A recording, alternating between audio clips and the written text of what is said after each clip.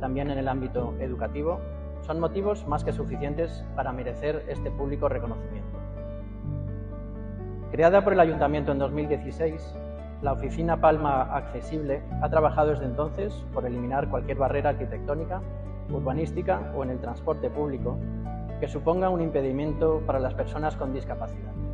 Otro claro ejemplo de implicación con la sociedad que le rodea y los problemas que ésta padece es el de las bodegas Masiabal. Desde sus inicios, esta empresa mallorquina ha colaborado con múltiples entidades. Solo vosotros conocéis el esfuerzo, los desvelos y las preocupaciones diarias que vivís para mejorar la vida de vuestros familiares. Sois un ejemplo para todos nosotros. Muchas gracias a todos.